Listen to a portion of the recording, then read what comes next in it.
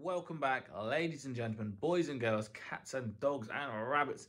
And in today's video, the one pound challenge is back. It's back, baby.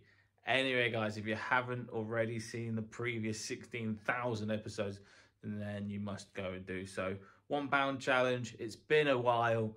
I think it's been about two months. So what I'm going to do in this video is go through some solds that we have sold during the Christmas period and we'll get back on track to hit the £10,000 target. If you don't know what the one pound challenge is, it's very, very simple. I started this £10,000 target of mine with just one pound. And I think today, as of today's recording, we are on about £1,119 in the kitty. Obviously, we've got 16 sales to go through today. So I'm going to flip you around and we're going to go on the computer and I'm going to show you exactly what is sold over the Christmas period regarding the challenge. Hopefully, with that £1,116, hopefully that will turn into about £1,500 by the end of the video. And if it does, we've got a very, very special buy. So let's flip the camera around, go on the computer, and see what we've sold. Right, we are now on the computer, and as you can see, I'll have a running total round here or down there somewhere, depending on where I am regarding the screen. And I think the last episode we finished on £1,119. So everything that you see today will be added onto that target, added onto that end bill, and hopefully by the end of like towards the end of this video we'll be on £1,500 so I can do this awesome, awesome little buyout. So with that being said, let's crack on and see what sales we've had during the Christmas period and since the last episode. So we're going to kick off things very, very nicely indeed with a £115 sale. We bought these from TK Maxx for £30 in a previous episode and they sold for £115, which is absolutely redonkadonk. But that's £115 back in the kitty ready to invest. Moving on swiftly, as you can see, we sold some Paul Smith cufflinks and we got £25 for these. Unfortunately, for some reason, I didn't charge postage. I have normally charged postage if it's part of the £1 challenge, uh, but for some reason this time I haven't. So uh, we'll have to take that consideration. So we'll just add £20 extra to the kitty. Uh, paid, I think, probably no more than a fiver. So 5 into 25 is a very nice profit indeed. I always look to at least quadruple my money before postage and fees.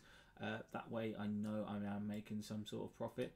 Uh, but yeah, 5 into 25, happy days. A nice little sale here. Don't tend to pick too many Game Boy Advance games up in their boxes, uh, especially. This one is American. You can tell that by this little symbol here. Clearly says everybody.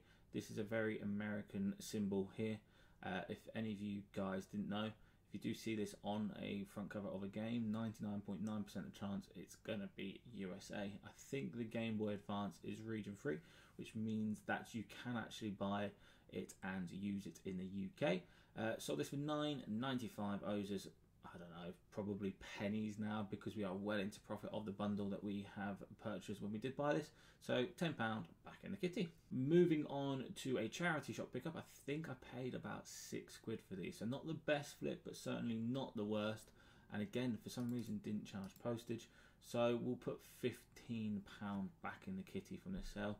Give us about fiver to play with postage. It probably would cost us about £2.90p to post. But for the sake of this challenge and the sake of this video, we are just going to be extra careful and extra you know, observant of that £10,000 target that we are trying to hit. £20 pack in the kitty. Again, like I said, I think it owes us £6. 6 into 20, definitely not the worst flip, but definitely not the best flip. And at the end of the day, profit is profit. So £20 back in the kitty. Hopefully by the end of this we can hit a 1500 target. That would be phenomenal. We then uh, took an offer of £12 for this. This is a Nintendo Wii Remote and Nunchuck controller. Authentic, tested and working. Really, really nice condition. Sold this for £12. Not too shibby shabby indeed. Uh, if you didn't know, there's still a lot of money to be made in Nintendo Wii stuff, especially if you part out bundles, which is what we did here. We had a spare Nintendo Wii remote control and the nunchuck, so we sold that individually for £12, and that's £12 back in the kitty, ready to be invested. Then sold some Hotter Periwinkle leather shoes, size 6, brand new. We took an offer of £27, I do believe. Uh, and again, for some reason, no postage was used on this. But we uh, will take into consideration and we'll probably just drop £25 into the kitty. And that way it will cover the postage. We spent a whopping, what, I think was six quid on these. Six into 27. I'll take that all day long. We in fact sold two copies of this for £10. That is the Weaver Sports Remote Resort. Like I said, we split a lot of our gaming bundles. Uh, haven't actually picked up a gaming bundle in a very, very long time. We've got £10 for this one and £10 for the other one. So that's £20 back in the kitty that we can reinvest into future £1 challenge sales. Sticking with the gaming stuff, Shark Tale, GBA, £5, free postage. Not really a great deal to be said there. Now this, this is a great, great little sale. We took an offer of £127 plus postage. So uh, that is a beautiful, beautiful sale. I picked this up with two games for £80 on Facebook Marketplace. One of the games have sold just under £100, and now this is sold for £127 and we've got one more game left up at about 99.99 so 127 back in the kitty. I think we're going to have no problems buying this 1500 pound buyout that i really want to buy for this challenge. Uh, yeah what a beautiful beautiful sale.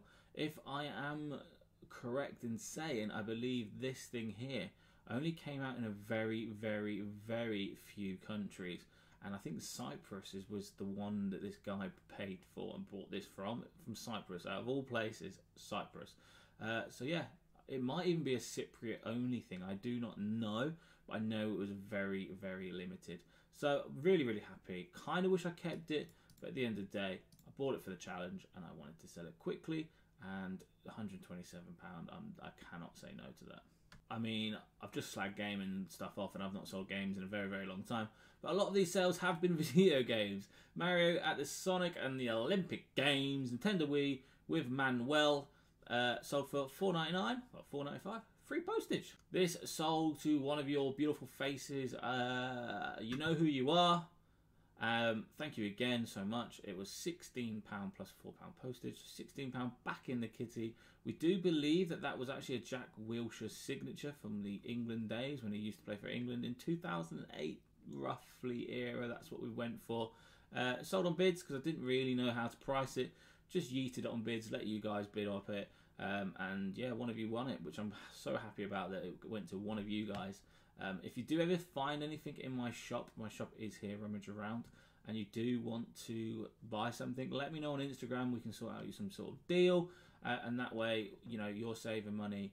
I'm making a little bit of money on mine, and at the end of the day, we're supporting each other, and that's what this community is all about supporting one another. Another TK Maxx flip, we spent £10 on the G Star Raw jeans, and they sold for £35 plus postage, brand new.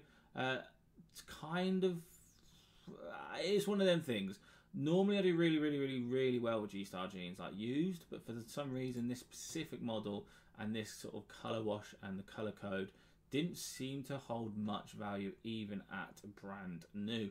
So for that reason, we only did get £35, but 10 into £35 with an RA flip as well is definitely not to be sniffed at. And we sold that really, really, really fast. So uh, yeah, happy with that one. Going back to where it all began, selling shoes and trainers, we have sold a pair of Clarks for £20. We accepted of £20 plus postage.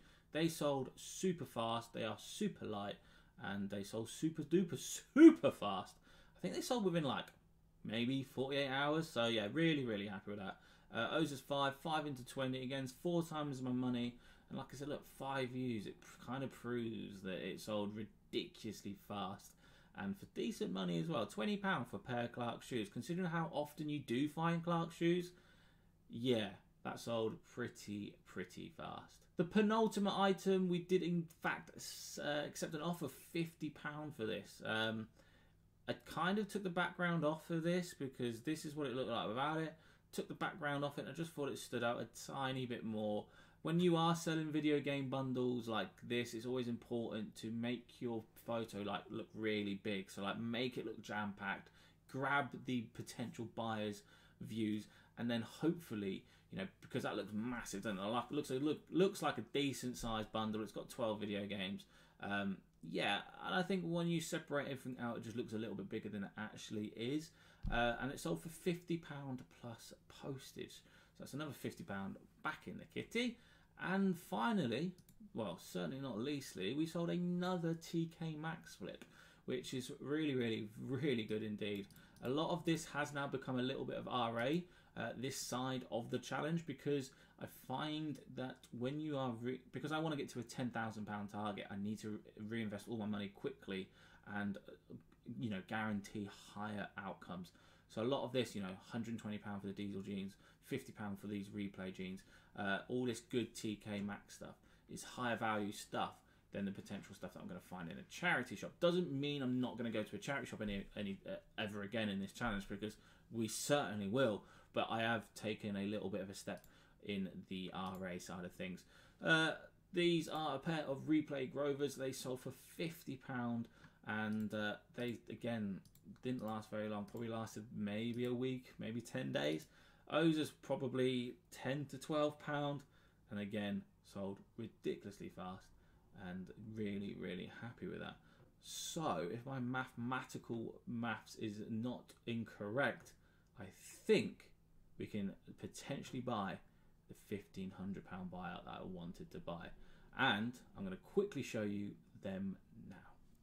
So the £1,500 buy that I've been wanting to do we can officially and finally do. We have brought 52 PSA graded cards for the man, the myth, the legend, Closet Geek.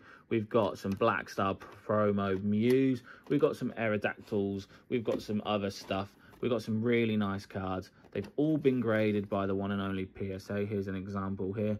PSA Black Star promo from 2000 and that got an 8. So the reason why I've spent £1,500 on these stuff is because this is £1,500 well worth spent. Probably looking to double my money on this, which would be nice after fees and postage, which is what we agreed on. And um, it's nice stuff. It's I like I kind of collect Pokemon cards myself, and I kind of collect all sorts of stars. Look at that, that's a beautiful mint nine promo. We've got some really nice, really nice cards here.